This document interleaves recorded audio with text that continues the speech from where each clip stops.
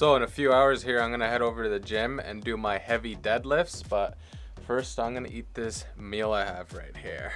So other than that, I'm pretty excited to do my heavy deadlifts since I haven't done deadlifts in like over a month, yeah, because I was gone for a while. Oh yeah, and speaking of my meals here, since I've been eating this every single day for past month, like yeah, two times a day, about this big, I'm now 180 pounds, which is good. That's what I wanted to reach. I reached that like three weeks ago, two weeks ago.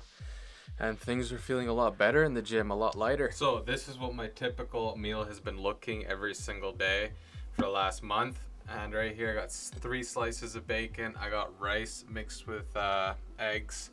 I got roast beef piled up. I got one whole avocado and I got lasagna and that'll be it for today with some almond milk because I don't like regular milk.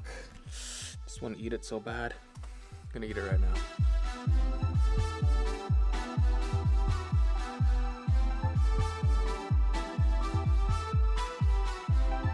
So I devoured that a few hours ago and now it's almost time for the gym so let's get ready. So today's outfit is a long seamless long sleeve shirt, you know, which is very nice and comfortable, which I got recently. I got a few of them actually.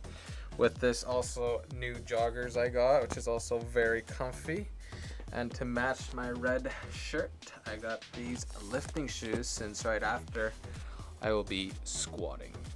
So I just ran around a couple laps this whole place.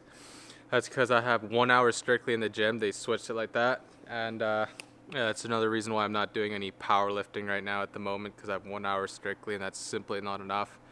But I basically have to do all my warm up up here and then quickly rush once I get inside.